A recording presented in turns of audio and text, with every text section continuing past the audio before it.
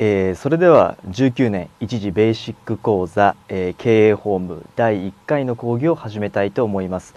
えー、担当はレック専任講師の西村と申します。よろしくお願いいたします、はい。えー、それではですね、えー、早速今回は会社法の、えー、ところからということでユニット1まずガイダンスとしましてその会社法の全体について、えー、説明させていただければと思います。テキストをですね、えー、ご覧いただければ、えー、分かるように、えー、会社法、えー、会社法総論から、えー、株式市場といってですね、えー、いろいろと、えー、ありますがこの中でも特に重要なのは、えー、1の4の株式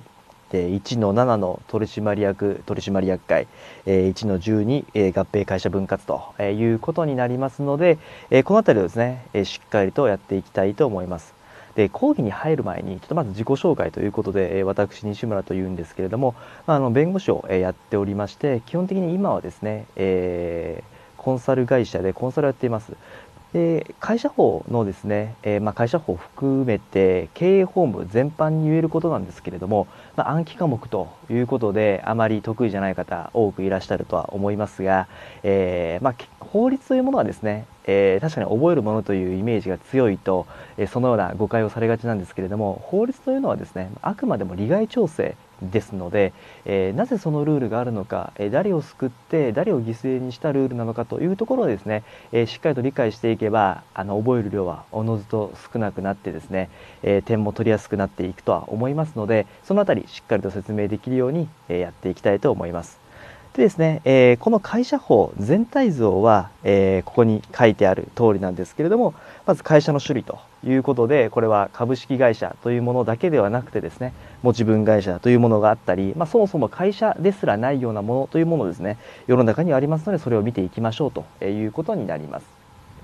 で、えー、その次がですね、え、会社の設立ということで、まあ、これはどうやって会社を設立していくか、え、まあですね例えば法律事務所のですねえインターンとかあるいは入ってみたらですね実はこの会社を作って解散するところまで一回やってみようみたいなあの事務所もあったりですねするぐらい、まあ、あの初歩的な内容ではあるんですけれどもやったことない人にちょっとイメージつかないというものだと思いますのでここをしっかりと理解していく。で定款記載事項これはですね会社のルールですね。えー、例えば学校であればあの校則があるようにですね会社の中にもそういう自分たちを縛る規則というものを最初の段階で一旦作ります。つまあ、それをいわゆる定款というんですけれどもその定款どのようなものを書いてどのようなものを書かなくてよいのかというところをですね、えー、ちゃんと見ていくというものになります。で、えー、株式これはもう皆さんあのだいぶ馴染みがあると思いますけれども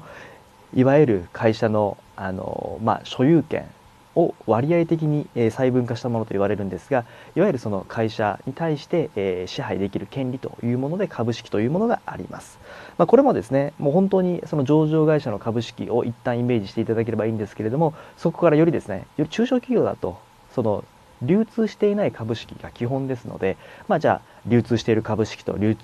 通していない株式でどんな違いがあるのかとかそういうことを見ていきましょうというものになります。で機関設計のルールえこの株式会社の機関というのはですね、え代表取締役っていう言葉がすごくこう、まあ、有名というか、あのまあ、新聞でもよく出てきますけれどもじゃあその代表取締役ってそもそも何を代表しているのと？取締役って他にもいるんじゃないの？じゃあ取締役が他にも所属している取締役会って何？取締役会を、えー、チェックする監査役って何？みたいな形でですね、えー、会社のその機関の設計というものについてこの1から5えー、1から10までの110からまでの間でですねしっかりと見ていくと、まあ、株主総会、えー、まあ、関西区ぐらいまでは皆さん、えー、耳に馴染みがあるかもしれませんがそこから会計参与や会計監査人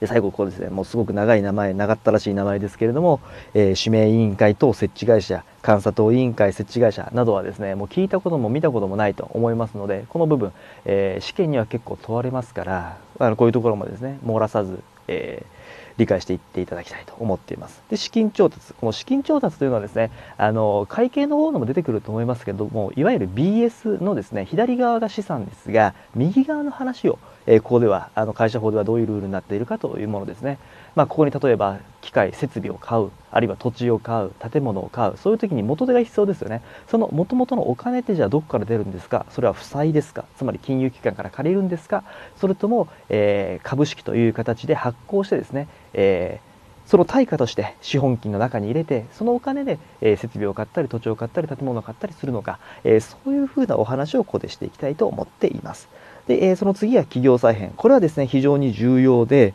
え、会社普通にですね会社を立てて会社が解散するまでの間にですね起こりうるものではないんですけども他の会社と一緒になったり他の会社に自分たちの事業の一部を渡したりあるいは株主を、え、の構成を組み替えてですねホールディングス会社を作ったり、まあ、そういうふうないわゆる企業の再編というものもですね、えー、非常に多く出てきますと。まあ、あの何でもそうなんですけども普通に通常運転してる時ってあんまりこうコンサルであったりとかアドバイザーというものの力は必要ではないんですけれどもこういう企業再編何か行動を起こそうとする時にはですね当然どういうルールがあってどういうふうなファイナンスが必要でというものがあの検討することになっていてそういうところでですね中小企業診断士も含めたあのコンサルというものがですねより、えー、発言力が増していく、えー、ことになりますのでこの企業再編というものもしっかりと理解していきましょうということになります。でその、1の16がですね計算処理となっていますけれどもこの計算処理もですね、え BSPL、えもちろんキャッシュフローもそうなんですけれどもいわゆるその会社の資産の動き資金の流れ、えあるいは収支そういうものをですね示すものになります。でこれもですね計算処理なぜここで会社法でわざわざ出てくるのかというとですねその隣にある剰余金の配当えこういうものをですね判断していくにあたってこの計算書類というものを、え作るルールをしっかりと決めておかないといけないこの決めたルールによって定められた額からですね一定の計算をしたものがえ剰余金配当原資になっていくというものになります。で1の17開示制度、まあ、これはですね会社法金融商品取引法上の開示制度ということで、えー、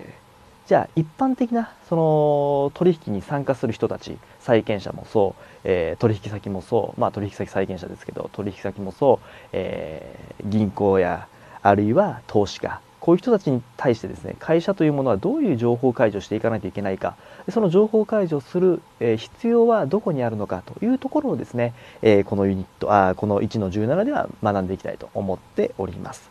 で1の18が株式市場株式の公開ということでですね、えー、じゃあ中小企業の、えー、方がですねじゃあ上場するに至ったこのような場合にどういうふうなルールがさらにこう上乗せで、えー、出てくるのかということをこれ学んでいくというものになります。ですねまあ、あの簡単に出題傾向を見ていただければ分かるんですけれどもこれあの5ページ目と、えー、6ページ目ですね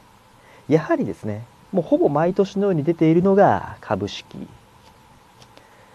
取締役取締役会1の7ですね。であとは、えー、合併会社分割、まあ、この辺りも頻繁に出ていると。なのでこの3つは少なくともしっかりと理解しておかないといけないということになります。